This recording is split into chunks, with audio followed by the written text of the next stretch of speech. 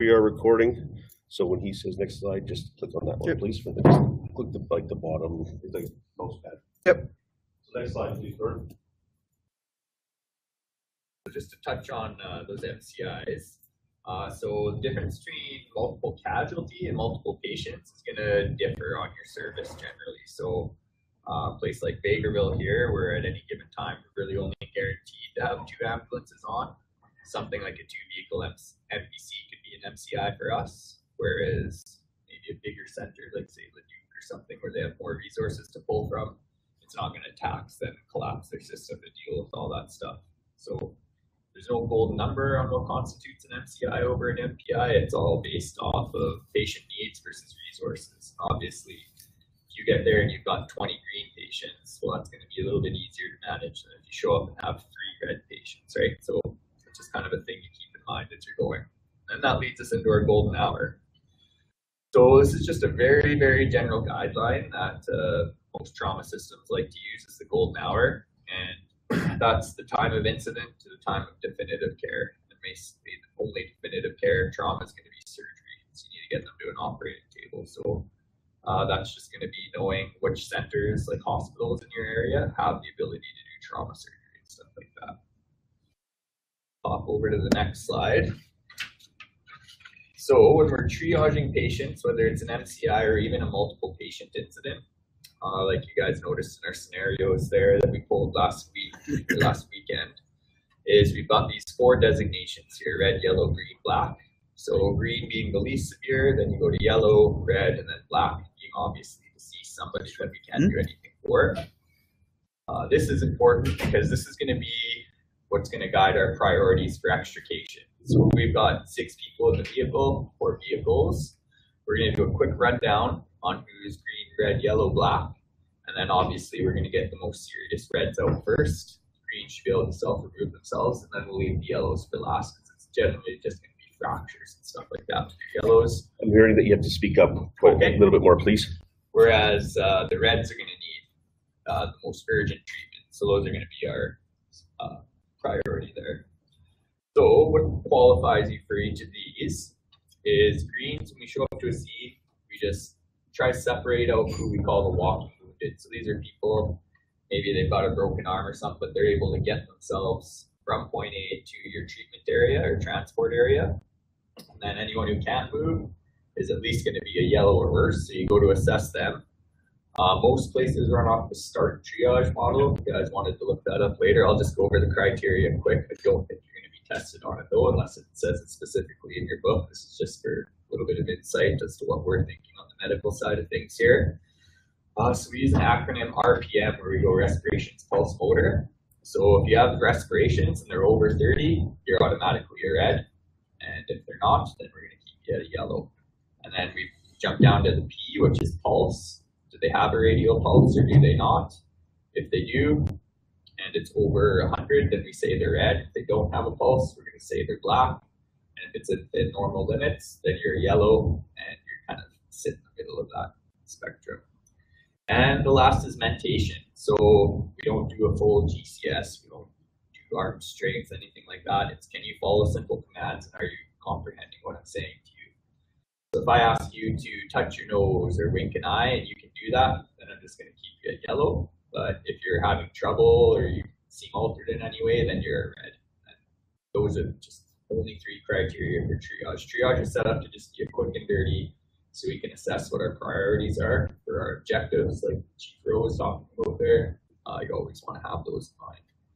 And again, blacks are just people that are deceased when we get on scene, and because we're overtaxed, any other day we might give them a little bit more attention, but because we have other people that are viable, we just leave them be taken black. Uh, so are there any questions on CIs, triage, anything like that? No questions? All right, so we'll bump down to our next slide. This is going over patient. Disentanglement. So they're trying to get at, uh, we try and take the vehicle apart around the patient whenever possible. The less you're manipulating these people when they're in this situation, the better. They might have complicated fractures, stuff like that. So the less we move the patient, the better. So a big one that I've seen in my days, people's feet always getting caught around gas pedals, brake pedals, stuff like that. Uh, if you guys have the small little cutters, those are perfect for that. Just reach in there, cut off the gas pedal, and you're good to go. Visualization. Uh, and then the next slide here is just a summary. They just ask what's the golden hour, like we said. It's just the minute from the accident happens to the first hour up to that. That's where you want to get that definitive care. Then we move on to objective two. So objective two is going over the mechanisms of injury in car accidents. And with each one of these different types of accidents, there's injury patterns that become more or less prevalent throughout them. So we'll jump down to the first one, which will be head-ons. So like you see here, face, head, neck, chest, abdominal, and others. So head-ons are probably going to be your most violent form, other than a rollover where someone's restrained, just because you got two vehicles that are closely combating each other's injury in there, or energy, sorry. Uh, so head-on collisions, the big ones are face, head, neck injuries. Uh, so our priority on this is just determining the severity of that. So uh, the big thing with head injuries, like soft tissue injuries on the head that I found, is that they're a lot more distracting than they generally are serious. Like so the scalp will bleed like crazy. Uh, so try and look through that, and we're just looking for things that are like airway compromise. Is this person coughing up blood? Is their face grossly deformed from this?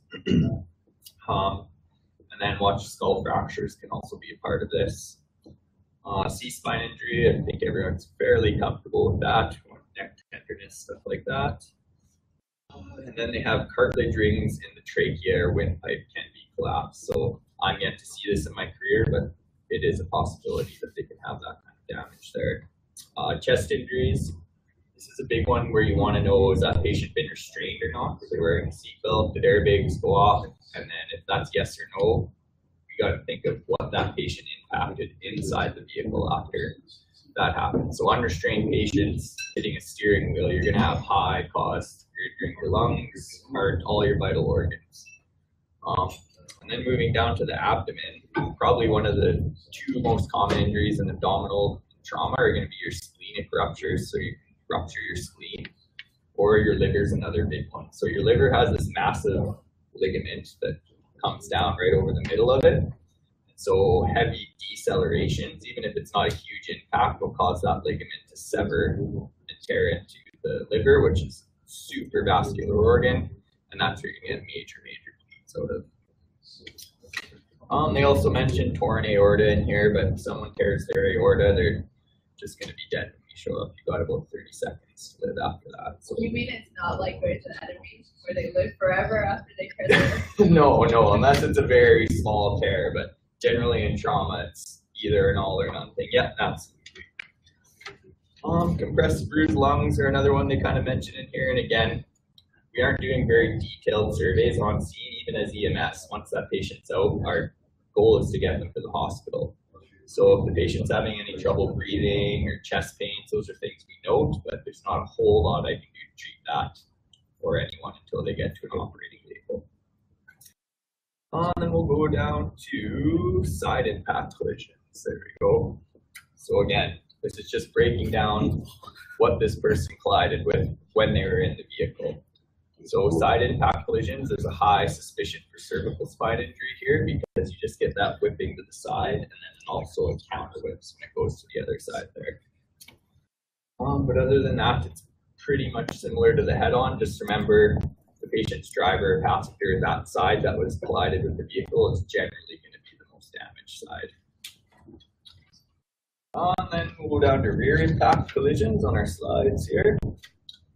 Uh, so these are generally low speed, but distracted driving and stuff like that, you are starting to see them pop up on the highways. I've seen a couple guys drive themselves into like semi trailers or buses, just not paying attention.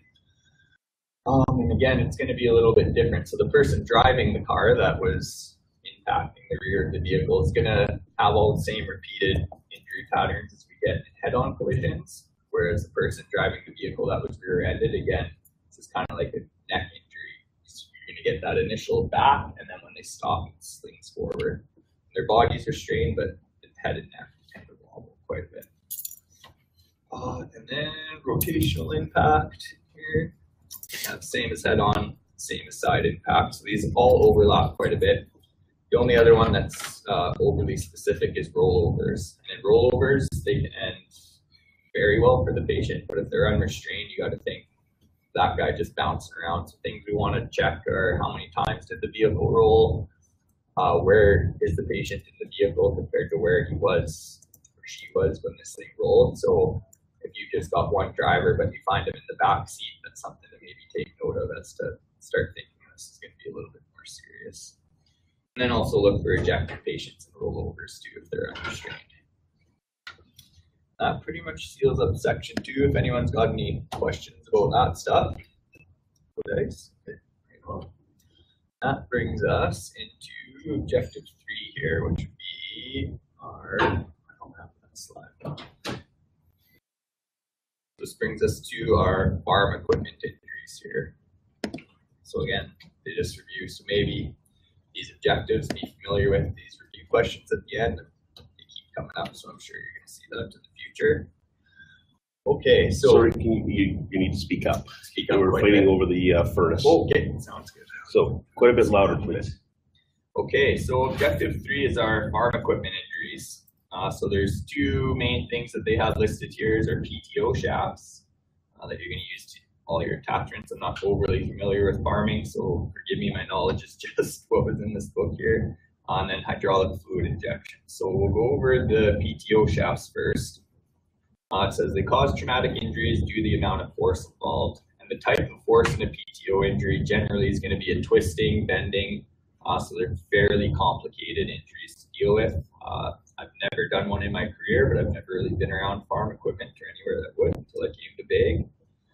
Um, just keep in mind the path of destruction this is going to cause. If the person got their arm caught in it and it just wrapped their arm around, that's a little bit different than if it caught their arm, flipped them over the thing, and then drug them around a couple times. So try and piece together the event as best you can, and then assess your patient and have a high suspicion for the force of travel from that injury. Uh, lastly, here on this one is the hydraulic fluid injections. Uh, this one is pretty bad one, although it's pretty rare. Uh, so it says here systems do not de-energize even after lockout or tagout. So it's kind of like your downriggers on like an aerial where they'll go out and they'll extend, but that system's still holding pressure and that's what's keeping them extended. Most hydraulic systems work similarly to that. So just because the engine's off and we cut the battery, we still got to be cognizant that there are pressurized lines hanging around. This here, pinhole leak, it release fluid at 600 feet per second, which is pretty wild, saying the cutoff for firearms is 300 feet per second. So we're doubling that fluid that can puncture your clothing and then go right into your skin. The big problem with oil is that it's very necrotic, and as soon as that's in there, it just starts killing tissue. It can get very deep, and they're very hard to clean out. Uh, and then again, if we are in an extrication situation with this, is we're carry, carrying our hydraulics out as well. So watch your own hydraulic lines around pinch points. When we show up, it's generally a pretty static environment. Not a lot of things but as we start moving, cutting, just remember that every time we push something in one direction, something's going to move the opposite direction there. So just a seed safety tip there to make sure our hydraulics are under control as well. And then it just has a review question, just asking what the two common types of farm injuries are. So assuming this wants you to be able to break it down into those two there. Away you go. That, there's no questions on farm equipment. We'll jump on to administering care in the field. So, uh, first step here is they have protect patients from hazards, including hazardous extrication techniques. So, what are some things that we're going to want to protect our patient from during extrication and how we should go about that? So, the most common ones I've seen is uh, most departments carry pieces of putboard. So, as soon as you start cutting doors and stuff like that, you should always have something like that between the tool and the patient. And that just, again, it's going to be, everyone's going to be pretty amped up. And the last thing you want to do is nick a patient or move a patient with the tool or even with a piece of metal. I know there was one scenario we were doing there last week where they were thinking of maybe cutting the steering wheel. And just the force of cutting that moved the steering wheel was pushing on the patient a bit, and the guys caught it right away, which is good. But again, something you gotta watch, especially these crumpled, tight environments. Uh, mobilizing C-spine.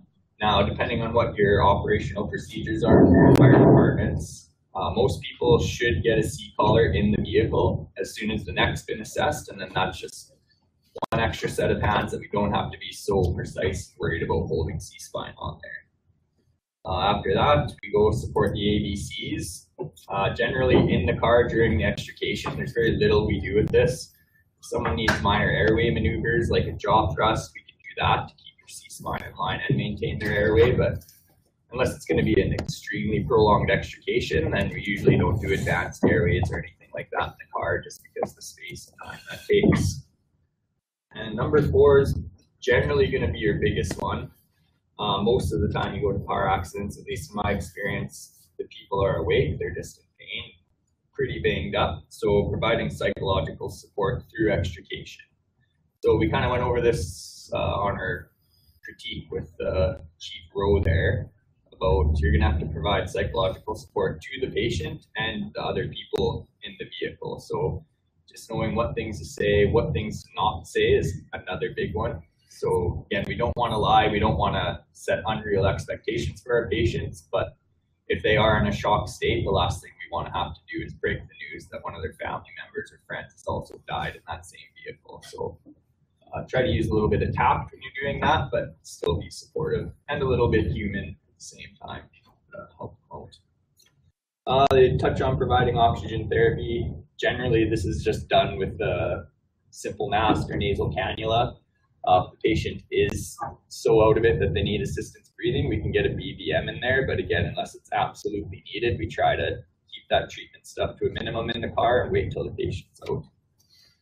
Uh, monitoring cardiac activity. Again, this is one of those things that you can do, but uh, generally, fire's going to be so busy in the car cutting apart, like there's just no room for a cardiac monitor and all that. So we generally wait till afterwards. Uh, and they mentioned certain medications again, unless it's an extreme circumstance where this patient's going to take a couple hours to get out of there, the treatment's very minimal until they're actually out of the vehicle. So.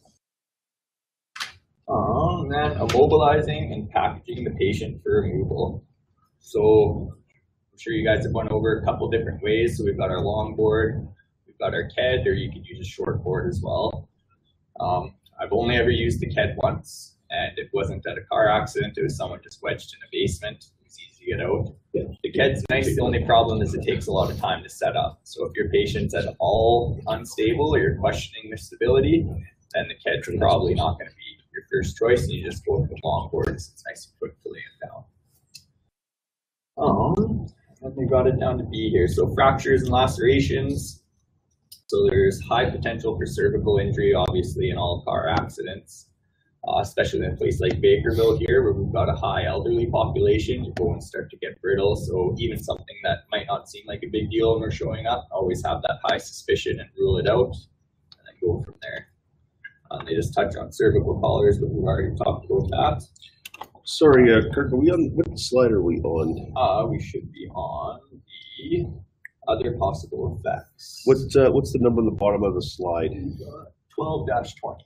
Twenty? Okay, I'm so too far ahead, sorry, Oh, no worries. There we go. sorry. Uh, so hypovolemia obviously is a big one. So we're going to get massive bleeding. If there's any abdominal trauma, that's a high, high suspicion of hypovolemic shock. Uh, so if you can stop the bleeding, if it's an extremity or something like that, direct pressure. If that doesn't work, we'll jump up to a tourniquet. That's something that's quick, easy, can be put on the car, help us with our extrication there and buy us a little bit of time. Uh, keep in mind, we're getting into the winter months. Like I said, those head lacerations and stuff, those can bleed really bad. But I find in the cold, uh, people don't bleed a whole lot when they're cold.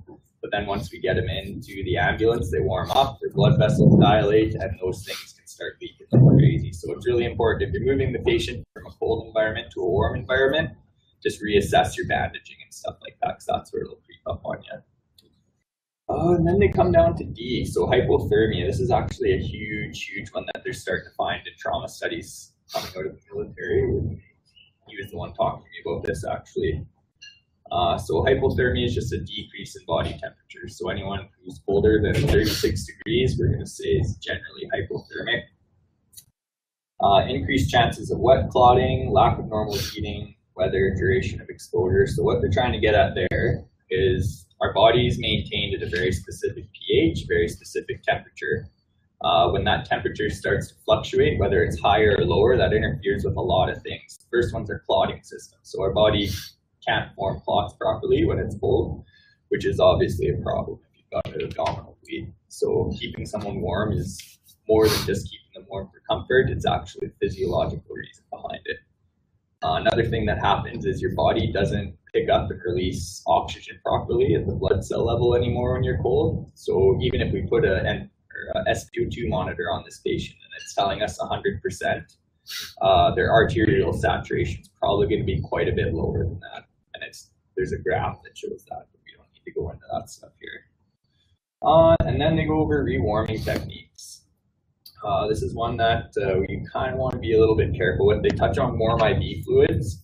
We don't want to warm people up any more than a degree an hour is generally the accepted route. So we're going to touch on crush syndrome here, but kind of what happens is your body shuts down those blood vessels peripherally to keep your core warm. And if you warm them up right away, you've got all this toxic blood that hasn't been circulating properly in your extremities, and that will shock your system, and you're basically poisoning yourself. Put it in layman's terms here. So you can do warm IV fluids, but watch how fast warming them up. Uh, my preferred method would be to strip the patient down and just warm blankets, maybe some hot packs in their armpits behind their neck.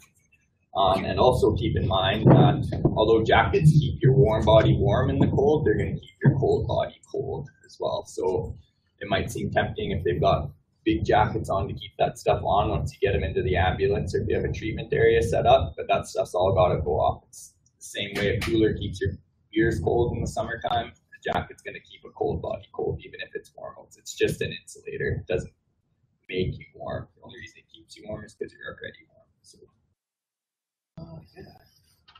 And then just be familiar with the same way fire is transferred. That's the same way that we can lose heat in our body too. So convection, radiation. So keep them off the ground, the cold ground. That prevents the radiation. Put a blanket over them, and then that stops the convection of losing it.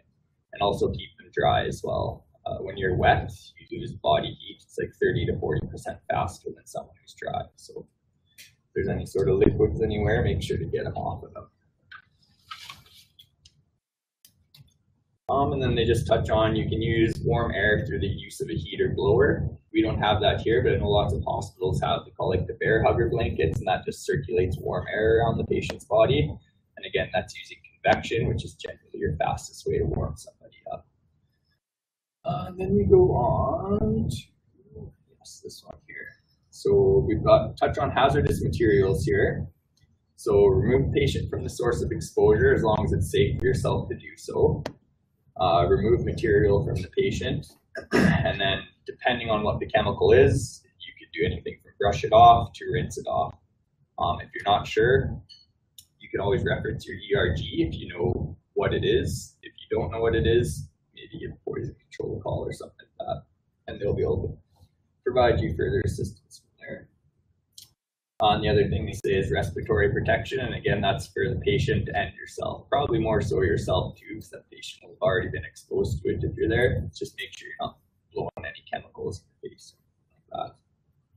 On the next, we're going to go down to the next slide here uh, for prolonged entrapment. So we're going to touch on crush injury first. Um, so what happens in a crush injury, a true crush injury, is someone's limb, extremity has been trapped, and it's shut down circulation going into that limb and returning. So like I said, with the hypothermia, when you get cold, you start to get all that toxic blood because it's not able to get the waste out and get oxygen in. Exact same thing happens in crush injury except we've got to be cognizant that if we're taking this person out of this situation, that we're going to give that automatic release right away. So if someone who truly has crush injury, uh, you want to do a couple things to assess the severity of it right away. So let's say, for example, someone's been in an accident and a post collapsed on their leg. We want to know if they're candidate for crush syndrome or not.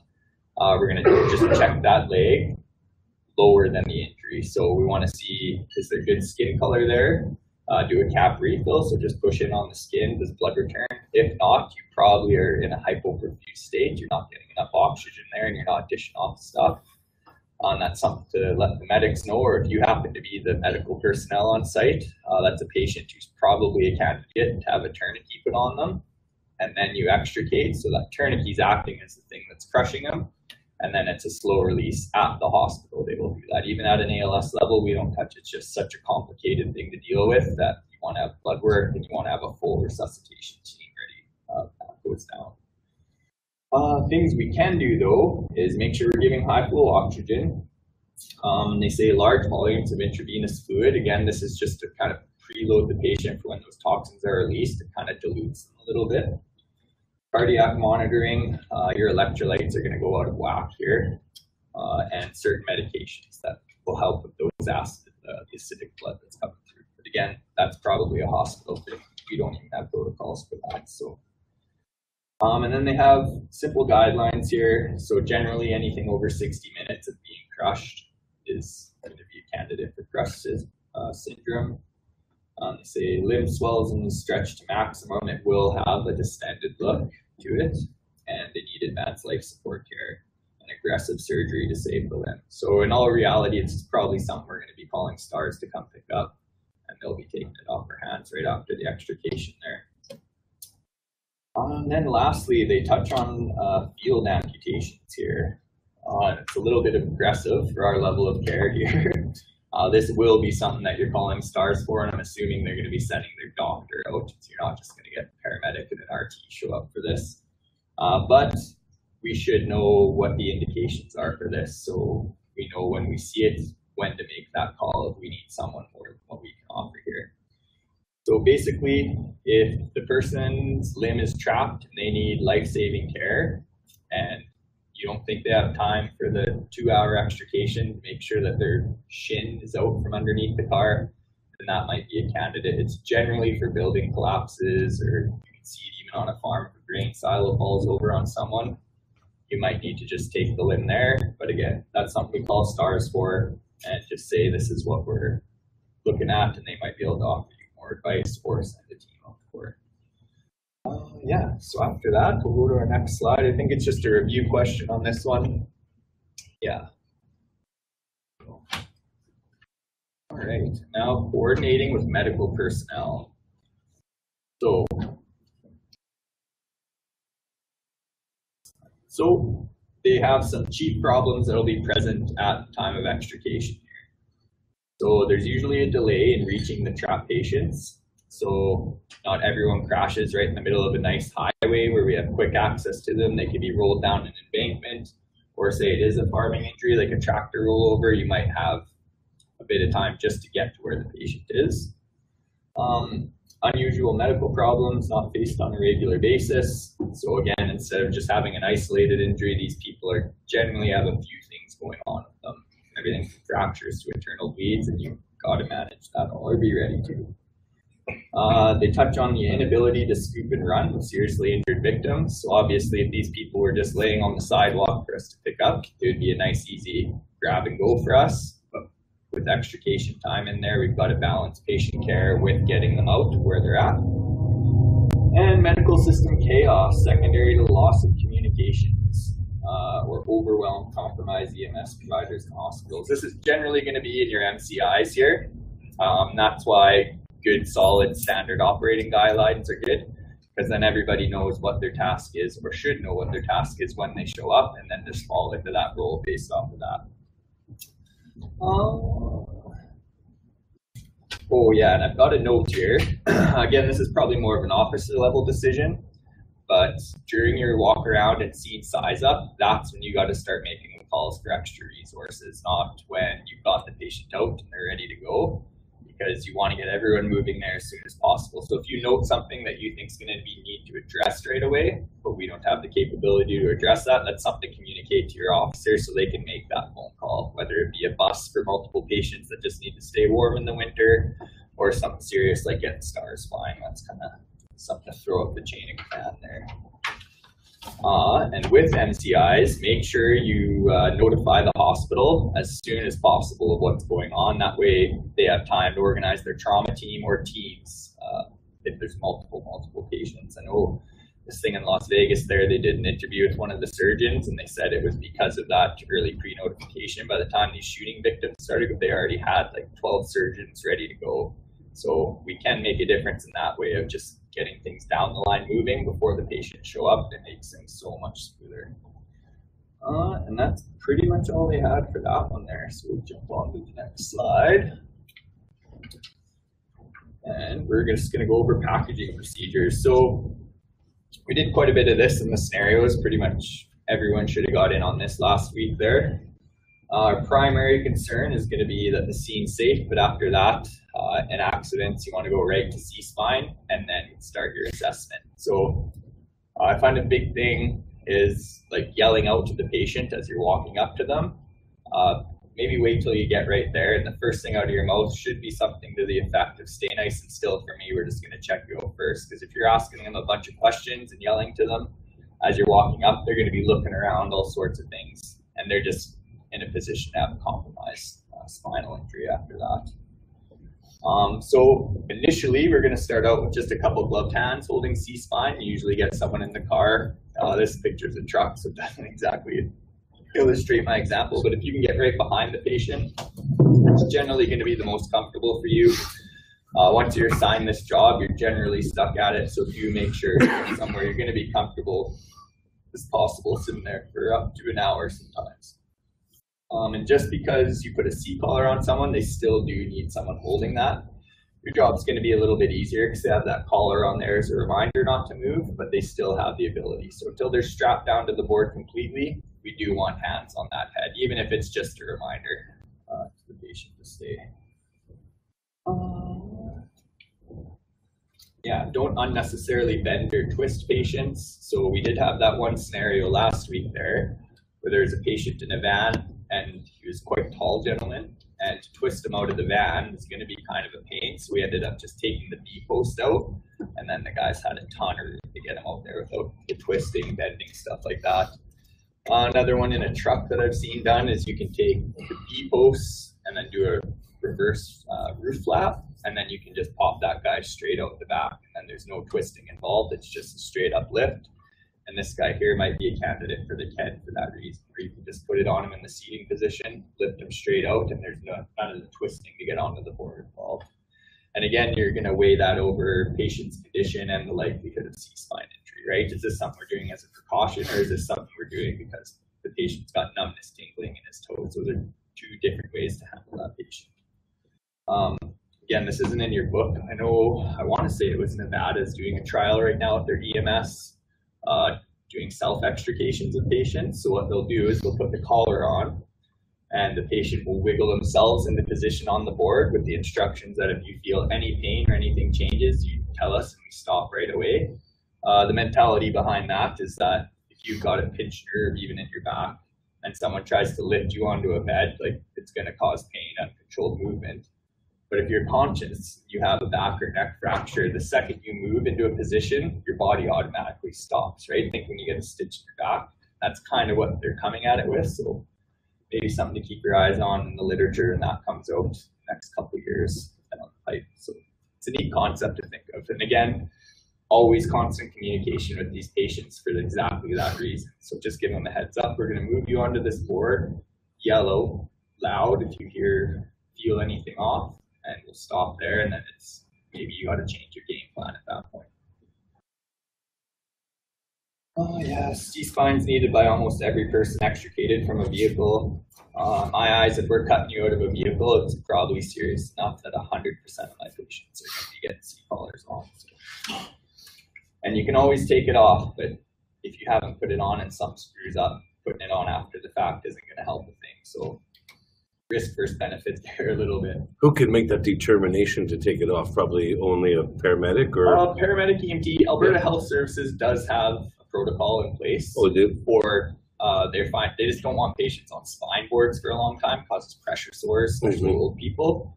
Uh, so we're told we don't transport on boards. The board's to get you on the stretcher, and then we slide it out, and then we just leave the collar on. I, if there's a collar on, I don't think there'd be a situation I would ever take it off. And it's, it's just something I take. So is that something that we do take, or like, I mean, I've never seen them come off the board. Is that something you guys do inside the unit? inside the if Oh. there's a prolonged transport. Now, if we're just transporting to Bakerville, just for ease of transferring, I usually leave them on there. Right. But if you're going into the city, yeah, we'll roll them up, slide the board out, and you're just on a collar on that soft Oh. bed. Yeah, I think protocol is uh, transport over 30 minutes. yeah, I think 30 minutes is the cutoff for that. Then you keep them off. What's that protocol called? Is that the, It'll be under the C spine assessment in your adult. I remember, I protocols. remember hearing about it. It's, it's, Do you keep the blocks on still when you do that, or? does No, that- so the whole board, Oh, everything. so you it's keep- literally just the collar. Yep, on. just the collar and then, and again, the strict instructions that you're to stay still. So if that patient's altered at all though, remember how I mentioned quick commands, if he can't touch his nose or you're talking to him, but he's not quite getting the message for whatever reason, always err on the side of caution of that because the risk of bed sores is gonna be fairly low, whereas the risk of someone being a little out of it and further injuring themselves. could Yeah. you use the, could you ru- use the rolled, uh, Absolutely. rolled blankets in, in lieu of the blocks on the Oh, stretcher? For or- sure, on the stretcher, yeah. Yeah. yeah. and then it gives you that extra little bit of safety there, yeah, for sure. But as a general rule, for extricating, full C-spine precautions, and you're not medically trained, just leave it at that. Let someone else make that decision. Who's got the liability insurance, all that stuff. It's kind of the way I look at it. Um, and then they just kind of go over some devices here. So they got the longboard. Take it, everyone's fairly familiar with the longboard. It's just as you see in this picture. Uh, when we're putting people on there, as a general rule, we like to secure the torso first, uh, then the head, then the legs. The reason for that is if they have to vomit or you need to manipulate that board, torso is the heaviest part. So if you got to flip them and you're halfway through it, at least their torso is on there. And that's the spine. That's the main thing we're concerned about, anyways. Their legs moving around, that's a minimal thing. Um, yeah. So when you say the torso, are you talking the top shoulder straps or Yep. the waist straps? Silk top shoulder straps. Yep. Yep. Yep. That heaviest part of the body there. Uh, and then they have seated spinal immobilization. So the big one is always the head. Uh, it's designed to immobilize seated spinal injured patients, just like you see here. And like I said, this is generally going to be done on a stable patient that's been entrapped. So we have no suspicion of internal hemorrhage, no suspicion of anything that would require that golden hour to really be met because this does take some time to set up, but it keeps the patient in that nice position there. And you really don't have to worry about the twisting, anything like that. uh, I've yet to see it used on a car accident. I've heard of only a couple times. It's a pretty unorthodox thing that we do. We're just maybe not familiar with it, but uh, in my opinion, again, is just my opinion, but it's kind of more trouble than it's worth on a car accident scene. Again, it's a nice tool to have. One day you're going to come across a situation where this is going to be just awesome. But as a general rule, most extrications are going to be used just along or short board. Uh, so after they're, they're, when they're in the KED, what's the rule? Do they need to go on a spine board after that? Or Yeah. can they go on the stretcher with a, with just a KED on? I would probably be putting them on a spine board after that. Yeah. Uh, pediatrics, I know some guys have done just the KED with pediatric, but it usually covers most of the length of their body, anyways. Uh, but yeah, I'd still be putting someone on a scoop. or again with our new protocol, we can just put them on the thing, undo the straps. I would probably leave that thing underneath them, just undone, just because the manipulation to get it out. Again, you're moving the patient. It's not just a quick roll, slide out, and go. Uh, what else do we have? Oh, here we go. So children in car seats. Um, use these to your advantage, just like you see here. We did have the one car seat, but we didn't have a fake baby in it on our accident. Um, but just like you see here, if you've got a child in a car seat, your booster seat, that's your spine board, and it's nice, easy extrication unless there's any complicating factors like a crushed compartment, passenger compartment or anything like that. But it's easy as just putting two rolled blankets, towels, pillows, whatever you have beside their head, strap them down. And I think your biggest challenge on immobilizing these guys is going to be just keeping them calm. You're probably taking them away from mom or grandma, right? So, if possible, bring a parent with you. But if that's not uh, viable by any reason, you're gonna have to call on your soft skills there a little bit and do your best. We've got teddy bears, but this is going to be a pretty rough transport, I would assume. That's gonna be a pretty scary time. Um, Now, it doesn't affect us too much, but what is the protocol for EMS for uh, strapping the car seat into your units?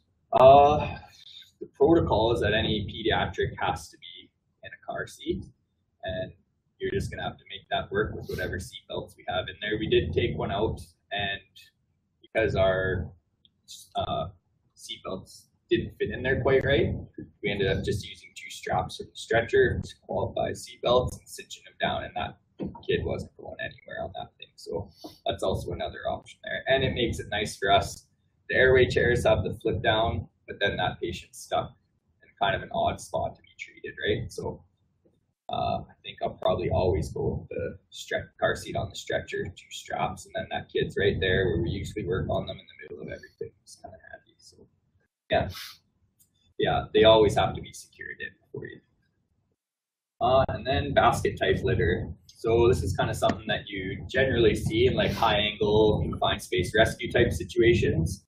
But again, these car accidents can be sometimes high angle situations, maybe not so much Bakerville, we're pretty flat here, uh, but people going over embankments or anything like that, uh, this is a great thing. Or even ditches sometimes. Uh, I have seen this used in the wintertime, you know, when the ditches get snow, like up past your knees. That's a super nice option to have that to hold on to versus just the spine board. It's not as much the wire one, but the uh, plastic ones, yeah, for Yeah, sure. So Yeah, and then it distributes that weight. That person, they just will sit on snow like a big snowshoe. So actually, what some uh, what some departments are doing with these wire baskets is they're uh, putting a crazy carpet and uh, underneath it, and then basically weaving uh, weaving rope or something uh, something along the side. And then that way, it, it, that basket will slide along snow. But yeah, Yeah. if you got to haul a patient from 100 feet, 50 feet in, in a field that they rolled and it's full of snow, yeah, why, uh, you know, why, why risk your knee injuries and slipping and falling, carrying, carrying that spine board? Yep, put them, put them on the spine board, get them in that and you go. especially with the size of a lot of people these days. Like I'm sure you've all handled spine boards where you've got to like dig under the patient to get at that handle. As you can see on these guys, you got to handle the whole way around that. So if you need five guys on each side, there's room for everywhere to grab there. You're not limited to just these three spots you can touch. So yeah. Again, these are all tools that you guys will review in this, but a lot of it is just making up your, like said, you go over your incident action plan when you get up there, like two scene, and it's just okay. I know what we have now. What do we apply to this situation? So there's no one size fits all for these necessarily. Uh, they do make a note here, and this is important that the basket is not for spinal immobilization. So if you've got a scoop or spine board, you can use that, but it does have to go inside of this basket. I think most places I've seen usually store the spine board in the basket anyways. So And only on the, uh, the basket, like, there are basket stretchers that are considered spine boards, like we have one. okay, But, uh, you also have to, you have to weave with, uh, with webbing to, to, to keep them immobilized, so. there you go. Yeah. So again, and that's another thing of just making sure you're really familiar with your SOGs and your specific equipment. So. Uh, and then the review question is what devices can be used. So it's just the ones we went over here. And we'll just jump over to our next slide here. Uh, so this is just going over follow-up on patient information. Um, so describe post-incident follow-up and education procedures. Uh, most of the time, unless you get in with some nurses somewhere, generally don't know how these patients turn out. But uh, after any major event like this, we usually do sit down as a crew. Uh, a lot of times with Fire EMS, where I come from, it was integrated, so we we're all kind of one operation. And if there was anything we pulled the tools out for to cut some out, you were going to have an after incident. We just call them critiques. And we basically just go around with what went well, what could we have done better, and then kind of go over, okay, if we had this one back, now what would we do kind of thing if it didn't go so well. Uh, but these are important. Uh, if you have more than one agency in on a big incident, it's probably a good idea to have everyone in on some sort of critique. You can all do your individual ones, but uh, just that everyone knows within the team how things worked. A big one is always staging, like on major events, because everyone flocks to the incident scene, and then you've got ten patients, and we've got to figure out how to get ambulances and police through. So those are always hot topics on those, as well as any concerns anyone had or room for improvement. And that's kind of how you revise your SOGs and SOPs and stuff on the floor like that. So. Uh, but yeah, they just want you to know what it is and that it's a process to gather information on a call. That's all they really. Then that brings us to our summary and review. So, very big one, patient care is the essence and primary purpose of any rescue, rescue operation. So, right after our safety comes their safety, right? So, we make sure we're taken care of and then we're able to help them out. Uh, and extrication aside, we're always there for the person. It's awesome cutting cars apart, but that decision should always be based on what's best for that person that's inside, from fire, EMS, police, whoever's responding there. Uh, all agencies that participate in extrications should ensure they have sound OGs and a good interagency working relationship between responders who perform the extrication and those who provide medical treatment. So again, here I feel we've got a pretty good relationship between fire, police, EMS. That's not always the case, but remember, we're all there for the patient, victim, whatever you want to call them.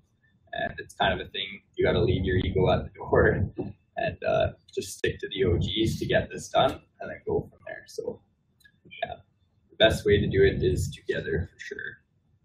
Um, I think that's it for slides. So we'll just go over some review questions. So I'll just touch on them here, seeing this is only three of us here. Uh, so uh, what is the golden hour? So we're saying that's time of injury to one hour post injury. That's important because that's when we want that person at least in an ER, if not on an operating table. Uh, what types of injuries are caused by head-on impact collisions? There's going to be chest injuries, facial injuries, a lot of abdominal trauma, uh, and a classic one, like people snap their collarbones from seatbelts and stuff like that. You see those marks as well quite often too. Uh, what two common injuries associated with farm equipment? We said our two main mechanisms are going to be PTO shafts and hydraulic fluid injections.